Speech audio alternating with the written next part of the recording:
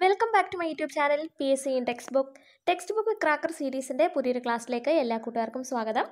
എട്ടാം ക്ലാസ് നമ്മൾ കെമിസ്ട്രി രണ്ടാമത്തെ ചാപ്റ്റർ ഒരു വീഡിയോ അപ്ലോഡ് ചെയ്തിട്ടുണ്ട്. അതിന്റെ കണ്ടിന്യൂഷനാണ് അപ്പോൾ ഇപ്പോൾ എല്ലാവർക്കും മനസ്സിലായല്ലോ എന്താണ് എലമെന്റ്സ് എന്താണ് കോമ്പൗണ്ട്സ് എന്നുള്ളത് അല്ലേ? നമുക്ക് വീണ്ടും ഡീകമ്പോസ് ചെയ്യാൻ പറ്റാത്ത വിഭജിക്കാൻ പറ്റാത്ത ശുദ്ധപദാർത്ഥങ്ങൾ പ്യുവർ സബ്സ്റ്റൻസിനെയാണ് നമ്മൾ എലമെന്റ്സ് എന്ന് വിളിച്ചത് അല്ലേ മക്കളെ? മൂലകങ്ങൾ എലമെന്റ്സ് അപ്പോൾ നമ്മൾ ഈ ഓരോ എലമെൻസിനും എങ്ങനെയാണ് ഈ പേര് വന്നത് അല്ലെങ്കിൽ ഇതിനെ എങ്ങനെയാണ് റെപ്രസെന്റ് ചെയ്യുന്നത് എന്നുള്ള കാര്യമാണ് ഈ ഒരു ക്ലാസ്സിൽ പഠിക്കുന്നത്. നമ്മൾ ഈ ക്ലാസ്സിൽ പഠിക്കുന്നത് നിങ്ങൾ എത്ര വലുതായാലും അല്ലെങ്കിൽ എത്ര ദിവസം കഴിഞ്ഞാലും എന്നാണെങ്കിലും നിങ്ങൾ എന്ത് ചെയ്യണം? ഓർക്കണം മറക്കരുത്. ഒരു പേര് കേട്ട അപ്പം സി എന്ന് കേട്ടാൽ കാർബൺ സി എന്ന് കേട്ടാൽ കാൽസ്യം സി എന്ന് കേട്ടാൽ ക്ലോറിൻ അത് നിങ്ങൾ പെട്ടെന്ന് ഐഡന്റിഫൈ ചെയ്യണം കേട്ടോ. അപ്പോൾ ഒരിക്കലും മറക്കരുത്. കാരണം വലിയ വലിയ കുട്ടികൾ വലിയ ക്ലാസ്സിലാകുമ്പോഴാണ് ഇപ്പം ചില കുട്ടികൾ അയ്യോ അതെന്നതാന്ന് ചോദിക്കുന്നത്. അപ്പോൾ നിങ്ങളിപ്പോഴേ എന്ത് ചെയ്യുക? പഠിച്ച് മിടുക്കരായിട്ട് പോകാം. അപ്പോഴേ തൊട്ടിപ്പുറത്ത് നമ്മൾ ബെർസേലിയസ് എന്ന് പറഞ്ഞിട്ട് ഒരു സയന്റിസ്റ്റിന്റെ കാര്യം പറഞ്ഞിട്ടുണ്ട്. എന്താണ് അദ്ദേഹത്തിന്റെ പ്രത്യേകത എന്ന് നമുക്ക് ജസ്റ്റ് ഒന്ന് നോക്കാം.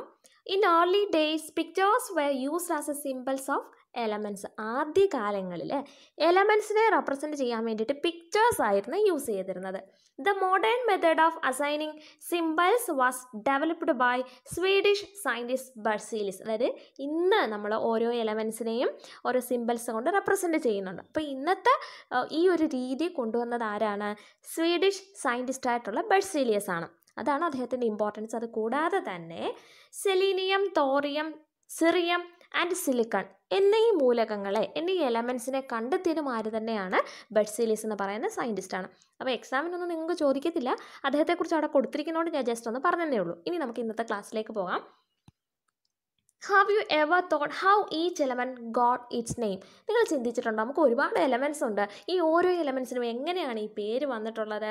In the past the elements were named after places countries continents characteristics properties scientist planets satellites etcetera അതായത് ഈ ഈ പറഞ്ഞ ഈ കാര്യങ്ങളെല്ലാം എന്തിന്റെയൊക്കെയാണ് രാജ്യങ്ങളുടെയോ സ്ഥലങ്ങളുടെയോ അല്ലെങ്കിൽ ഏത് കോണ്ടിനെന്റിലാണോ അല്ലെങ്കിൽ എന്തിന്റെ അതിന്റെയൊക്കെ പ്രോപ്പർട്ടീസ് അതുപോലെ അത് കണ്ടെത്തിയ സയന്റിസ്റ്റ് പ്ലാനറ്റ്സിന്റെ സാറ്റലൈറ്റ്സിന്റെ ഇതിന്റെയൊക്കെ പേരിലാണ്. ഇതിന്റെയൊക്കെ പേര് ഈ ഓരോ എലമെന്റുമായിട്ട് റിലേഷൻ ഉണ്ട്. അപ്പോൾ ഈ പറഞ്ഞിരിക്കുന്ന പ്ലാനറ്റ്സ് കോണ്ടിനെന്റ് സാറ്റലൈറ്റ് ഇതിൽ നിന്നൊക്കെയാണ് ഓരോ എലമെൻസിനും എന്ത് കിട്ടിയിട്ടുണ്ട്? അതിന്റെ പേര് കിട്ടിയിട്ടുള്ളത്. നമുക്കപ്പോൾ ഓരോ ഓരോ എലമെൻസിനും എങ്ങനെയാണ് അതിന്റെ പേര് കിട്ടിയതെന്ന് നോക്കാം. ഇത് ഇമ്പോർട്ടന്റ് ആണ്. എക്സാമിന് നിങ്ങൾക്ക് ചോദിക്കുന്നതാണ് കേട്ടോ. ഇവിടെ കുറച്ചൊന്നും കൊടുത്തിട്ടുണ്ട്.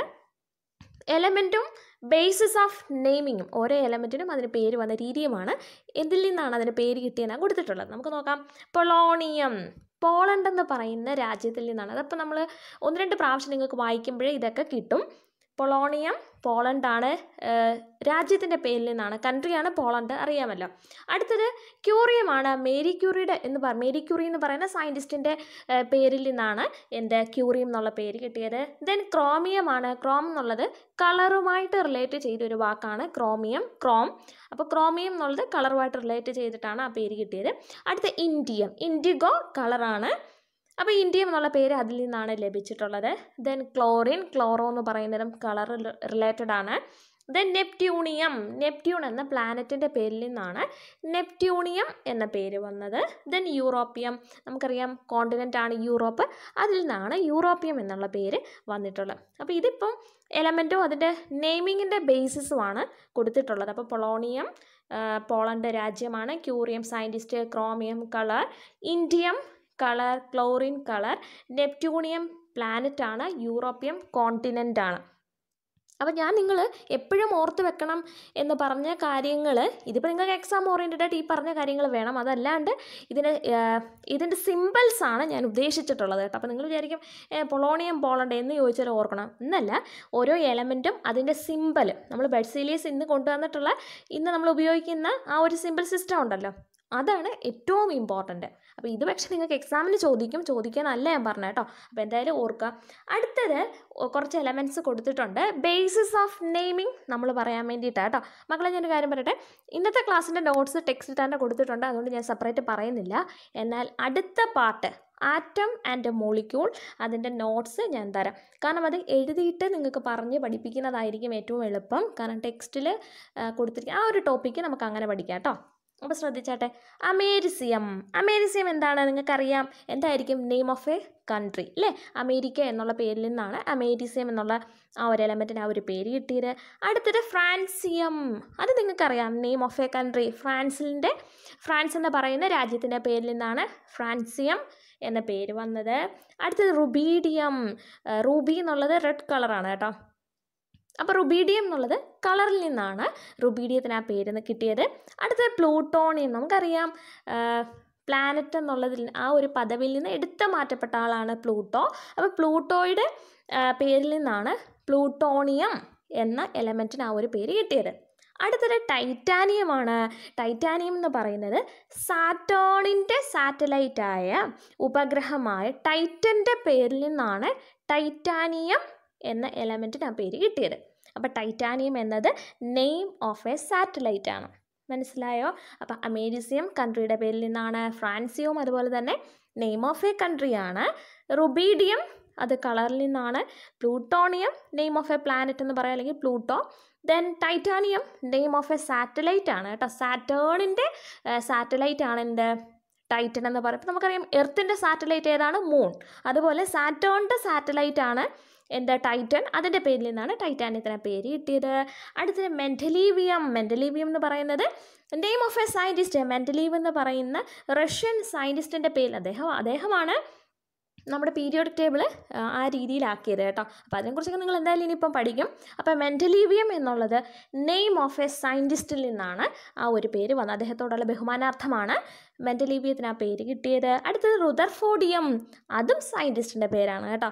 അത് ഒരുപാട് ഇനിയിപ്പോൾ നിങ്ങൾ ആറ്റം മോഡലൊക്കെ ഒൻപതാം ക്ലാസ്സിന്റെ കെമിസ്ട്രി ഫസ്റ്റ് ചാപ്റ്ററിൽ നിങ്ങൾക്ക് അതൊക്കെ അന്നേരം പഠിക്കാം കേട്ടോ. അപ്പോൾ മെന്റലീവിയവും റുദർഫോഡിയവും നെയിം ഓഫ് എ സയന്റിസ്റ്റാണ് മനസ്സിലായോ? അപ്പോൾ ഈ ഒരു കോളം അത്രയുമാണ് പഠിക്കാനുള്ളത് കേട്ടോ. അടുത്തത് ദേ ഇതാണ് സിമ്പിൾസ് മക്കളെ ഇത് നിങ്ങൾ എപ്പം ചോദിച്ചാലും റെഡി ആയിട്ട് പഠിക്കാൻ ഇപ്പം തന്നെ പഠിച്ചങ്ങ് പോകാം കേട്ടോ. Symbols are used for representing elements അതെ എലമെന്റ്സിനെ റെപ്രസെന്റ് ചെയ്യാൻ വേണ്ടിയിട്ടാണ് നമ്മൾ സിമ്പിൾസ് യൂസ് ചെയ്യുന്നത്. Symbols are assigned to elements in different ഇപ്പം ശ്രദ്ധിക്കുക കേട്ടോ മക്കളെ ശ്രദ്ധിക്കണേ.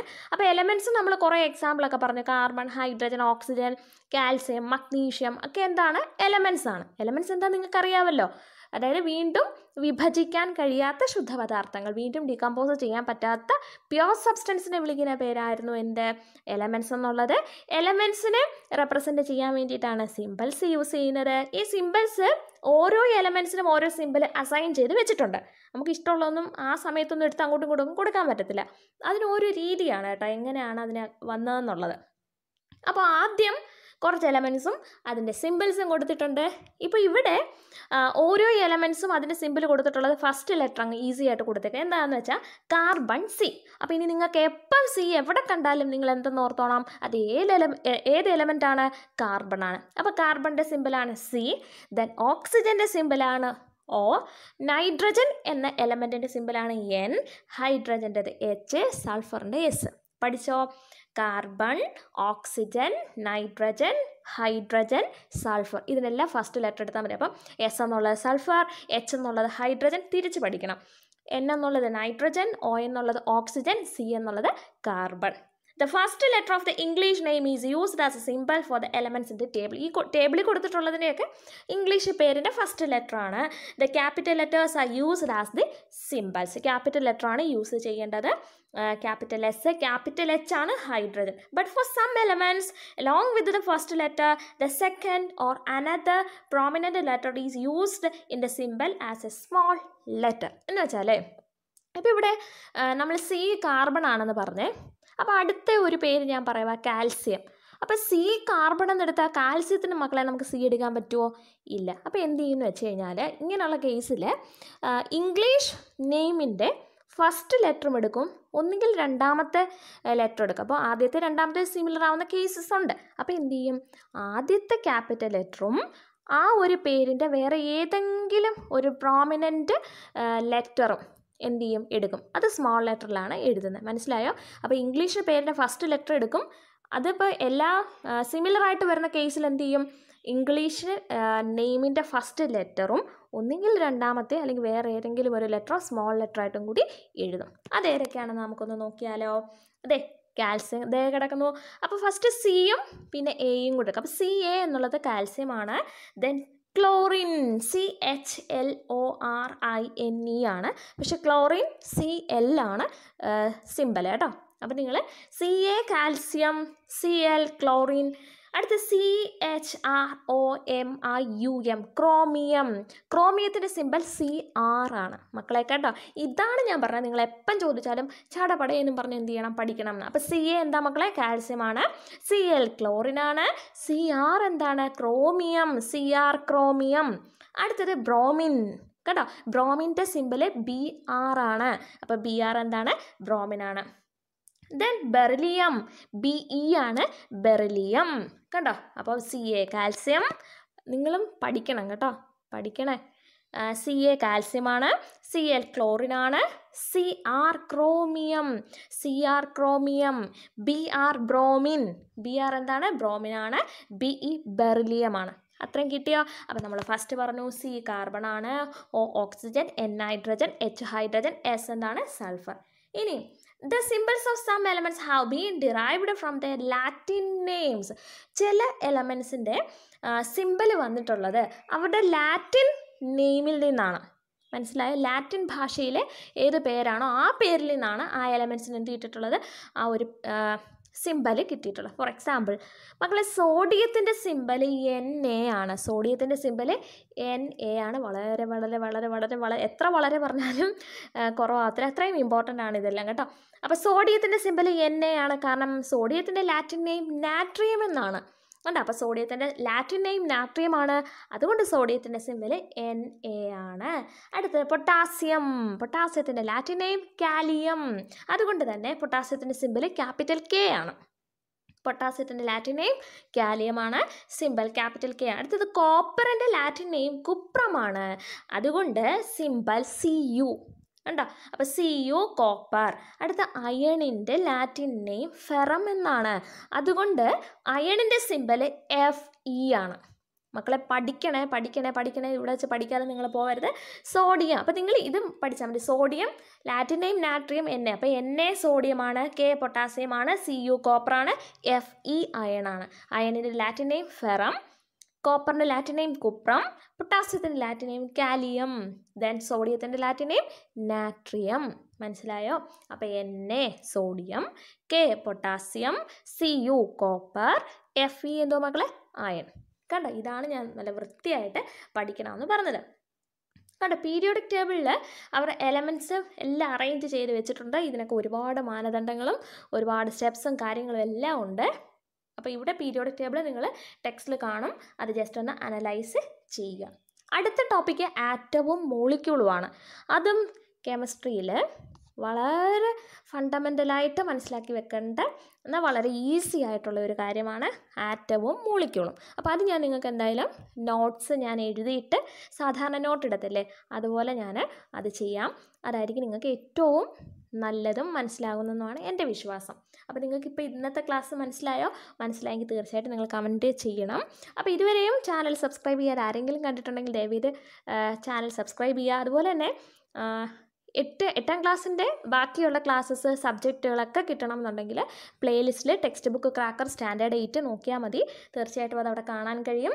അതുപോലെ വീഡിയോ ഇഷ്ടമായെങ്കിൽ ലൈക്ക് ചെയ്യാൻ മറക്കരുത്. നിങ്ങളുടെ സുഹൃത്തുക്കൾക്ക് മാക്സിമം ഷെയർ ചെയ്യുക. അപ്പോൾ നിങ്ങളുടെ വിലയേറിയ അഭിപ്രായങ്ങൾക്കായി കാതോർത്തുകൊണ്ട് നിർത്തട്ടെ. നന്ദി. നമസ്കാരം.